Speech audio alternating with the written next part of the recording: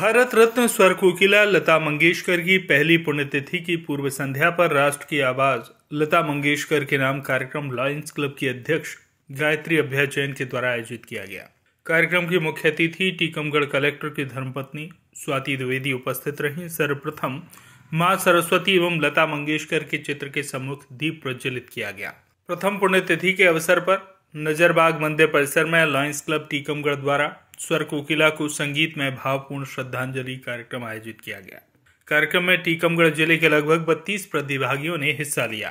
कार्यक्रम को रखने का उद्देश्य टीकमगढ़ ज़िले और आसपास के नए कलाकारों को मंच देना था। अच्छे कार्यक्रम के लिए मानव अधिकार एसोसिएशन के द्वारा गायत्री अभ्या जैन को सम्मानित किया गया।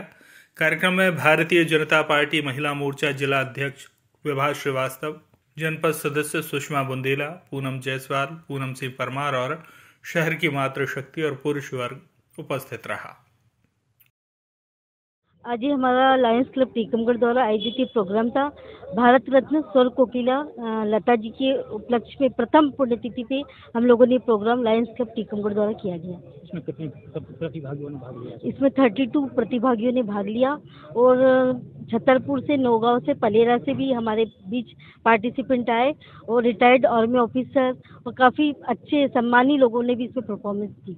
बच्चों को क्या पुरस्कार आ, बच्चों को हम लोगों ने एक सम्मान पत्र दिया लता जी की कार्यक्रम क्या कार्यक्रम? कार्यक्रम का मेन उद्देश्य था जो कि टीकमगढ़ के बच्चे हैं उनको एक मंच मिले ताकि वो अपनी प्रतिभा उजागर कर पाए।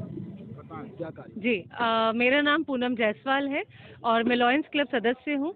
आज लॉयंस क्लब द्वारा भारत रत्न स्वर कोकिला स्वर्गीय लता मंगेशकर जी की प्रथम पुण्यतिथि पर यहाँ पर स्वरों से हमने उन्हें श्रद्धांजलि अर्पित करी। लगभग बत्तीस प्रतिभागियों ने इसमें भाग लिया जिसमें हमारा इस कार्यक्रम को करने का एक उद्देश्य ये भी था कि हमारे ज़िले के हमारे शहर की जो बच्चे हैं, जो संगीत में रुचि लेते हैं, उनको हम एक स्थान दे सके, एक मंच दे सके, जिसके लिए आज हमने ये कार्यक्रम आयोजित किया था। यहाँ पे पत्रकार साथियों ने और समाज सेवियों ने ग्रहणियों ने, बच्चों ने, सभी ने बढ़ चढ़कर हिस्सा लिया और आज लता मंगेशकर जी को याद करते हुए स्वरों की बौछारें करी। टीकमगढ़ से मनोज सिंह की रिपोर्ट।